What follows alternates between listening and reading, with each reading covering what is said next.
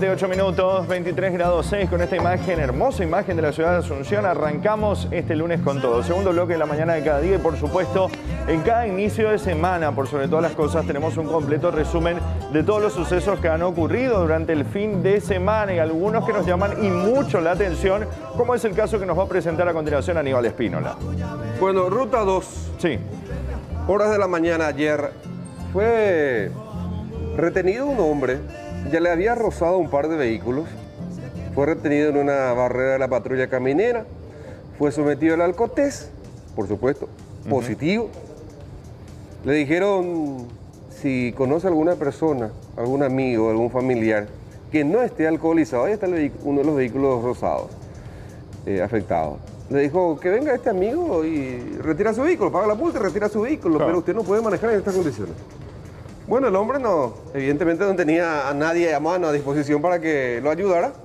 Se retiró con la boleta en la mano, la boleta de la multa. ¿verdad? Dejó el auto. Dejó el auto. Ojo, eh. Este es el... Esta es la boleta, ¿verdad? No, la, el alcotés. Y se fue. ¿Y qué hizo el hombre? A la tarde vino con dos amigos. ¿Y qué hicieron los amigos? Esgrimieron machetillos. Se fueron con machetillo Sí.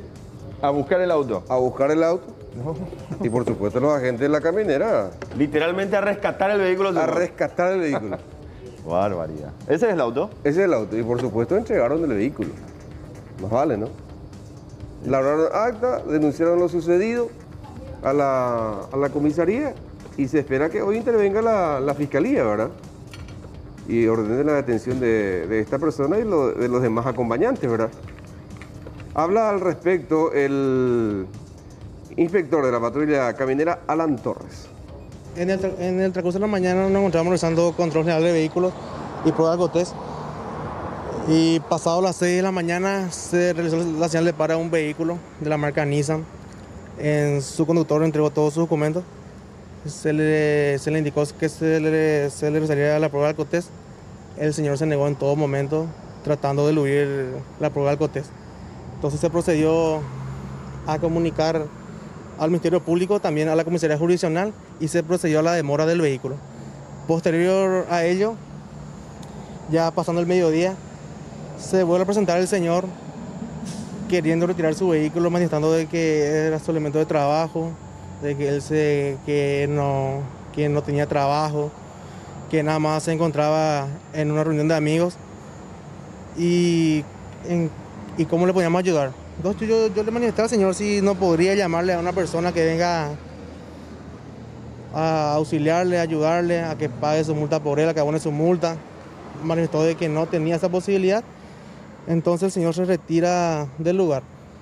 Más o menos ya pasando las dos y media de la tarde, esa persona en el lugar ya con dos personas más, la cual las dos personas tendrían en su poder arma blanca.